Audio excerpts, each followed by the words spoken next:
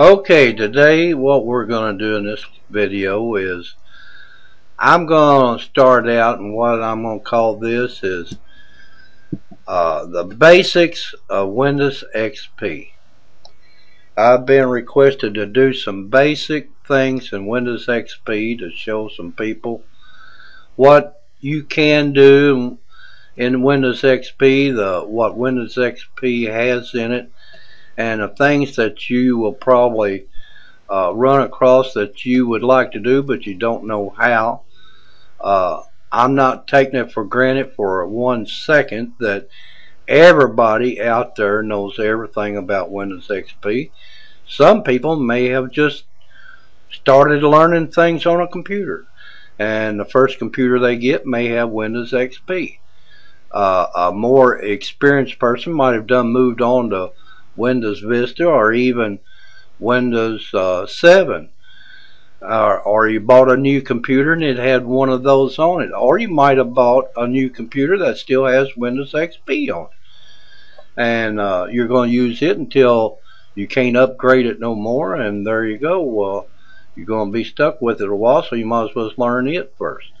So one thing I'm going to show you today if you're just a basic learner and and something that you might want to know how to do is what do I do with my pictures? Now I've got a digital camera but I don't know how to get them on my computer. I don't know how to set it up so I'll be able to see them or how do I do all that? Well in Windows XP the way I learn and the best way I can show you myself is that if you're going to add some pictures from your camera or anything else, USB or uh, flash drive or whatever, uh, the first thing you do is to know that if you got some new pictures that you want to put in my pictures in Windows XP, the first thing you need to do is say, well, I know these pictures here uh, was taken at a certain date for a certain reason at a certain event or whatever, like a birthday party, a wedding shower, a wedding, or uh, whatever. So I would go to start and go to my pictures. That would be the first thing I would do. And after it comes up, knowing that, just like I have uh, these pictures here in this folder, my little grandson there in that one. Uh, different things in here and here, Lake Cumberland graduation. Uh, all these are folders that I've made. This one here, sample pictures, are for background and other uses that comes in Windows XP, but that's all you'll have. All these others I have made folders so I can put different pictures from different events into. So the first thing I would do is say, all right, I need to put those pictures on here. So I need to make a new folder. So I'm going to make a new folder. And I'm going to call that new folder right here. It says new folder, but I'm going to change it. I'm going to say uh, desktop pics. And that's exactly what these are going to be. They're going to be desktop pics. Now this folder is called desktop pics in my pictures. So we'll get out of here. And I'm going to use a USB uh, that I have some that um, my uh, wife has put on this USB for me. And on that USB it's got desktop pics folder that came off of her computer that she has downloaded and collected of horses and backgrounds which makes a beautiful background scenery for your desktop. Or for other things you can make a slideshow out of you can do so many things with them. Add them in other pictures. But uh, right now I'm going to push in the USB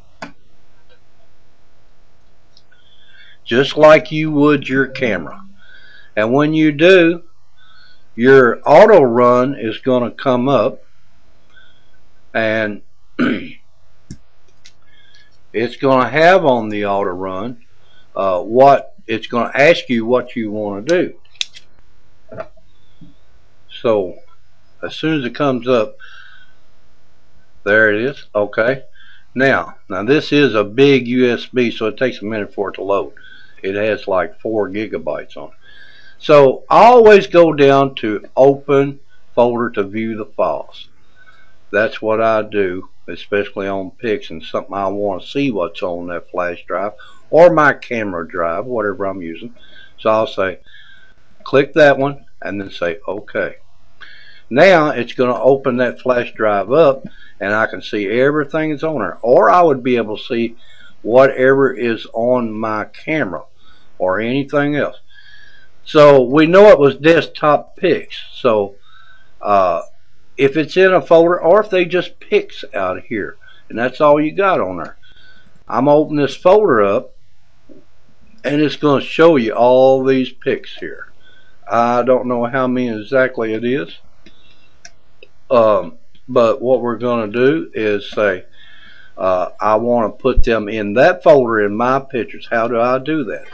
Okay, edit and say select all. See that? It got every one of them there. Every one of them. So then after selecting them all, you go and say copy the selected files and it's going to come up with this little block right here. Now, I want to copy these files into my documents so I need to hit the plus there on my documents and then I need to go down to the folder in my documents that says my pictures and hit the plus there and that's going to open up my pictures and then now that I've opened up my pictures here's desktop pics, the one that I made for. So I'm going to click on it and say copy. And you're going to see this little bar come up and copy them all there. See there? It's copied them right into desktop pics. The other folder was desktop pics, so it's copying from it to it.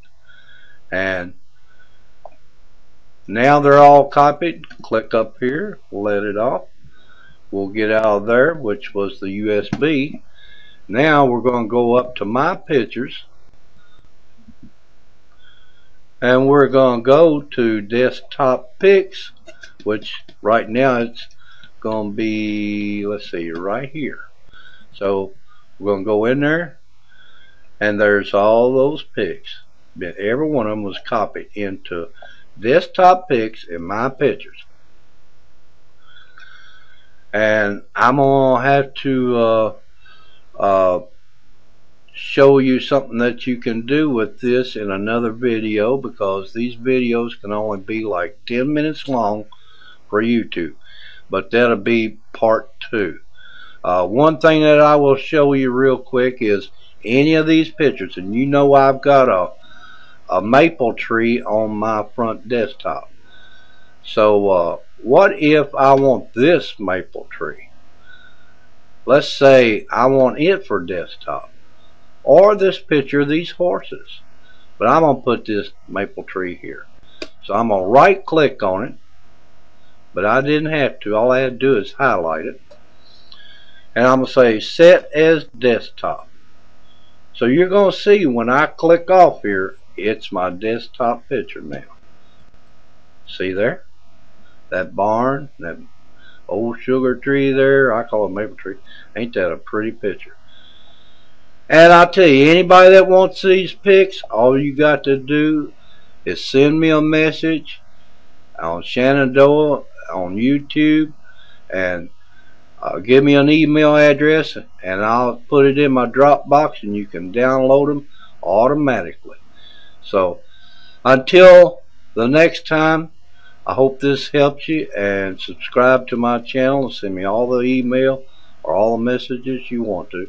I'll be glad to do any video that I can that's requested of me. So thank you again. And until the next time, this is Shanadoia signing off.